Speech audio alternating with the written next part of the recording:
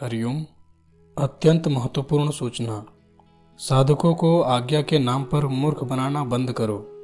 जो लोग यह बोलते हैं कि पूज्य गुरुदेव की आज्ञा के बिना पत्ता भी नहीं हिलता, गुरुदेव की आज्ञा का कोई अवज्ञा नहीं कर सकता।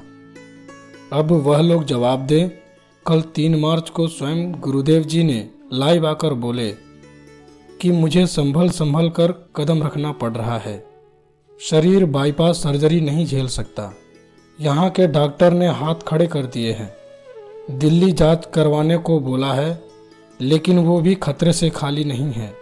आयुर्वेदिक की ज़रूरत है।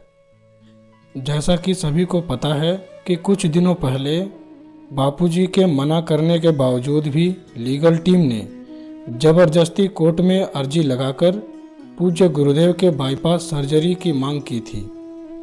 परंतु हम साधकों के शुभ संकल्प से कोर्ट ने मना कर दिया था। अब यह लोग लीगल टीम वाले, जैसे कि अर्जुन, रामा, नीता, हम साधकों को जवाब दें कि जब पूज्य बापूजी बाईपास सर्जरी करना ही नहीं चाहते तो बाईपास सर्जरी कराने के लिए ज़बरदस्ती एप्लीकेशन क्यों लगाई गई? अब हम साधकों को समझ जाना चाहिए कि ये लीगल टीम वाले जानबूझकर बापूजी की तबीयत खराब कर रहे हैं और ये नहीं चाहते कि बापूजी जल्द से जल्द हम लोगों के बीच आए। हरिओम, नारायण नारायण। षड्यंत्रकारियों का समूल विनाश हो। कालिक पोतो षड्यंत्रकारियों को।